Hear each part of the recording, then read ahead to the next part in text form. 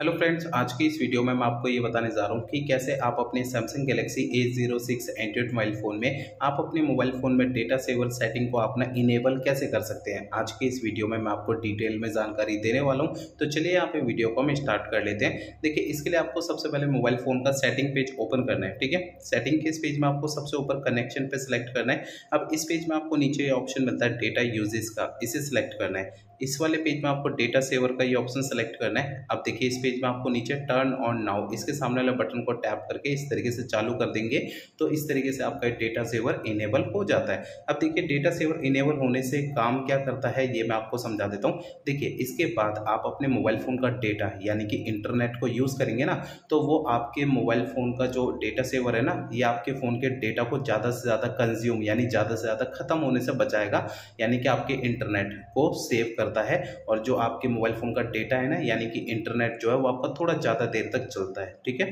तो ये सेटिंग इस तरीके से काम करती है, चालू करने के बाद।